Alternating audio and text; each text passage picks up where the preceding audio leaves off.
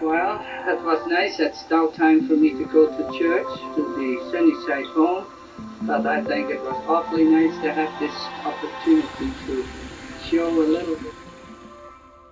One has to wonder if it's possible to capture a lifetime of compassion, of kindness and dedication in just a few photographs and film clips. After reading about Pieter and Johanna Vos, I realized this is a story all of us should better understand. It's a story of hard work, faith, and perseverance, and it's about the importance of community. The two immigrants from the Netherlands would come together to help lay the foundation for a great Kitchener organization, today known as Sunbeam Community and Developmental Services. When World War II broke out, Johanna was just starting her nursing career in Holland. Young Pieter was working on a farm nearby. The two would lay witness to the horrific Nazi occupation of the Netherlands the experience would teach them both to always be thankful for what you have. After the war, Johanna would take a nursing position in Suriname. Pieter would find himself there as well after telling his parents that it was God's calling for him to do missionary work. The two connected and discovered their common passion. At such a young age, the pair never let their negative experiences affect their positive outlook on life and of people. They would marry in June of 1948. Shortly thereafter, they would find themselves seeking a new life in Canada. Their first few years were difficult, but they worked hard and made many great connections with the Salvation Army and the Mennonite community in Waterloo region. The couple would go on to have six of their own children, and at one time, approximately 300 more children under their care. I sat down with John, Jane, and Pieter Vos to learn about why their parents started Sunbeam and just how they became so successful. Sunbeam Home is a story about serving people. That's all my parents wanted to do. Sunbeam was a calling for my mom and dad. It was not, let's start a business. It was the intention of wanting to do something that they that they didn't think they could do, but they felt driven to do because it was all about serving God through our own efforts. After a lot of hard work, the Vosses were able to get their first home in Kitchener. It was November 9, 1956, when they took in their first child.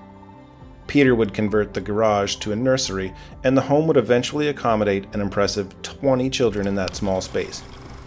Jane Vos recalls those first days they they brought a little child to the door one one time um, on Frederick Street, and uh, my mom said that he was staying with us. So I think we just had the normal kind of questions like, well, where did he? Why is he staying? Like, where did he come from? You know, and where's he going to sleep? You know, just normal. Like it wasn't like uh, you you worried about it. You just thought that's something new in our house. We were uh, just kids, young kids. And of course, my parents had to get rid of us now and then when they were busy. So they would put us in, in the playhouse, called the playhouse. And we would just play with the kids. And we didn't notice anything different about them. They were just, they were just our friends and we played with them and they played with us. And that's just how life was. It was great. And uh, it wasn't until years later that we realized that there's, these kids are, are special. The Vosses had a lot of support and guidance, but perhaps none more important than Kitchener native Dr. Siegfried Kegler. Dr. Kegler committed to doing everything he could for children who were institutionalized. He had a strong belief that it was best to move patients out from the infirmaries and back into the community. Dr. Kegler was um, uh, very interested in researching that and the, the medical portion of how to help these children and, and he knew that my mother and father would be good candidates. Dr. Kegler was a remarkable man who, I remember he would come in, he was, he was Mormon, we were Christ, uh, Christian Salvation Army, but he, he loved to play on the organ and my dad was on the piano and they would, you know, those were the kind of friendships they had. And yet he was also the, uh, the politician, the pediatrician who inspired them you know, and, and was their, uh, their guiding light in this work. And, uh, and he went on to do other many great things in, in, this, in this world. My dad, like Dr. Kegler, presented it to both of them, but she was going to be the driving force behind it. She was Sunbeam Home. Uh, my dad, of course, was a big part of it too, but from a different aspect, you know, in terms of the maintenance and um, all the other stuff that went around it. He did a lot of the PR work. He'd go out in the evenings, um, drive wherever he had to, uh, to do, um, to promote the work. He had his projector and his screen, and off he went. And that's how the support began to grow. And so, and that's how that became a community. Sunbeam was never really an entity on its own. With the help of medical professionals like Dr. Kegler and rapidly growing community support, Pieter and Johanna were able to expand and move into 4 Willow Street. We, we lived upstairs. We had, um, my parents' bedroom was up there, and my brothers all shared a room with two bunk beds, and my sister and I had a room. We had to get up at 6 o'clock, get dressed and get ready for school, and then we, but we had to go downstairs and help feed the children their breakfast. But there were little children who were little toddlers and, you know, they were running around and could play and and so those were the ones that we would help them feed breakfast. And um, that's why I think we felt like they were our brothers and sisters because they were part of our family.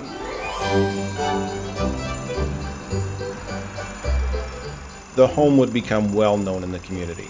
Christmas time was a favorite for the staff and children, and for those who donated gifts.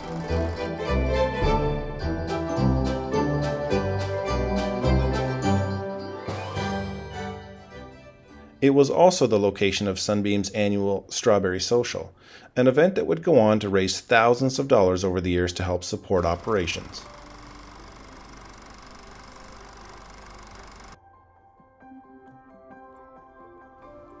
In 1958, the aptly named Annex was added. A fresh coat of paint and furniture donated from a home in Fergus meant that there was room for 20 more children.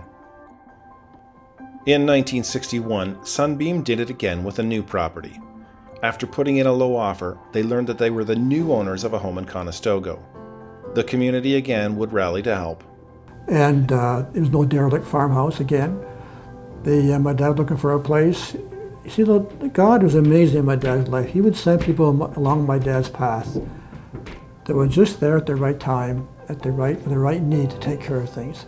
Dad said, well, you know, it's, it's a lot of work and it's not really what I want, but I'll, I'll give you this much for it. It was like next to nothing. It was just basically just take it off your hands. He never thought any more about it. He figured, well, this is, this is going to be a waste of my time. But sure enough, ended up buying this old farmstead in the middle of Conestoga. So here again, the Mennonite community, heard that this was happening. They all came by the droves and helped clean the place up. It was unbelievable. And volunteers came out of the woodwork um, in the community in Conestoga. So we got a lot of really good friends up that area.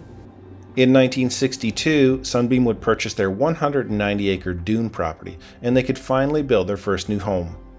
They called it Sunbeam Lodge. Johanna can be seen here laying the building's cornerstone. A short time later, they would go on to acquire the original farmhouse, barn, and farming equipment. And my dad came home one day and he said, well, boys, tomorrow we start farming. And he just bought the farm here in Doon. The owner there was in a hospital and he was on his deathbed and this the brother didn't want to deal with anything, so my dad bought the farm, lock, stock, and barrel, the whole thing. It was an old rundown place. It was really, really in bad shape. It was neglected for years and years. We had a contractor help us build the whole barn up inside, and we started milking, I think there were 25 or 35 cows every day, twice a day. We had pigs, we had the whole bit going. Because the milk that we got from there went back to the home to supplement feeding these, these children. Because were, back then we had like 300 kids to feed. The Vosses' hard work and dedication went beyond the immense task of running the homes. They were involved in just so many things within the Kitchener Waterloo community. I asked John if it was a strain on the family.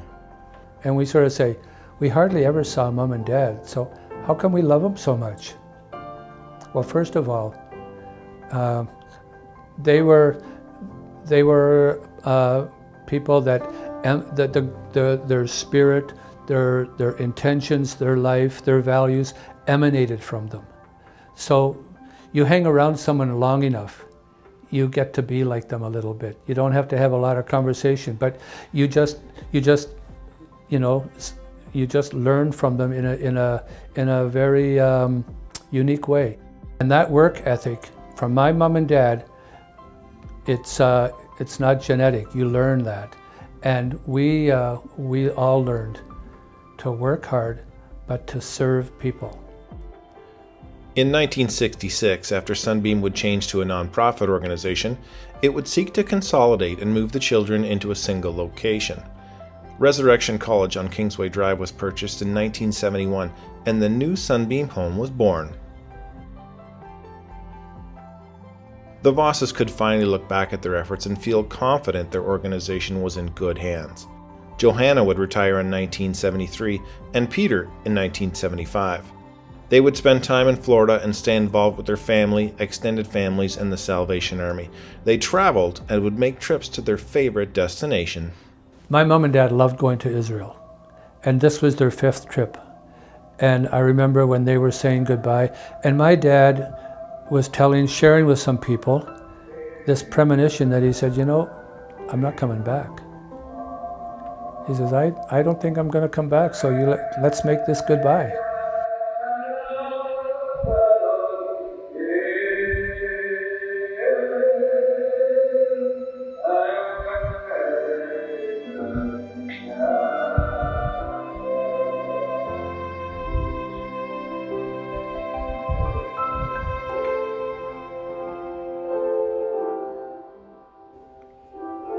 One hour after that video was taken, Pieter would suffer a fatal heart attack.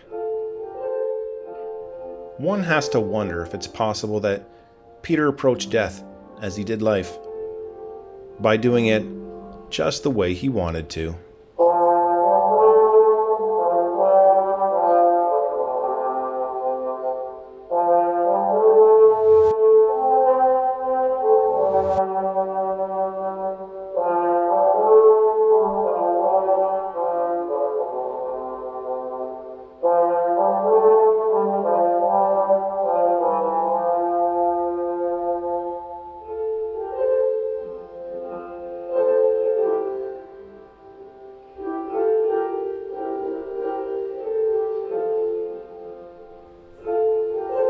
His beloved Johanna would pass away in March 2001.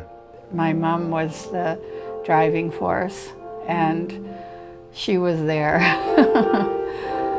and um, she was just a very well loved person. I don't know anyone who knew her who didn't love her.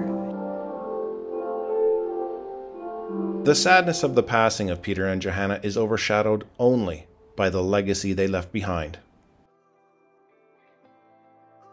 In the 1970s and 80s, many more positive changes continued at Sunbeam. Dr. Kegler's model of having a decentralized location for the children was readopted. New programs were introduced that included physio and occupational therapy, developmental training, recreation, seating and dental clinics, a family resource center, and much more. Today, the organization continues to grow and now boasts 26 residential and respite locations across Waterloo Region. This year, Sunbeam celebrates 65 years of this community and improving our community. Here's to celebrating the past and looking forward to the future.